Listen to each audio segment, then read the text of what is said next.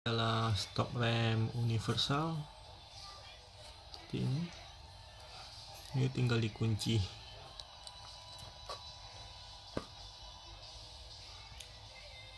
Ini ada contoh sen running seperti ini. Ini sen ke kiri.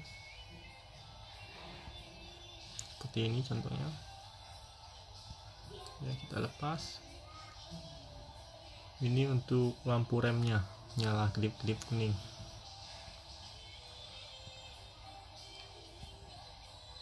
Dan sini sen kanannya.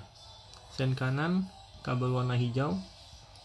Untuk eh, lampu malamnya warna merah nyala putih. Untuk kabel putih sen ke kiri. Untuk kabel kuning nyala rem kedip-kedip seperti ini ini ada 2 4 5 kabel ya. Setiap kabel memiliki fungsi sendiri. Oke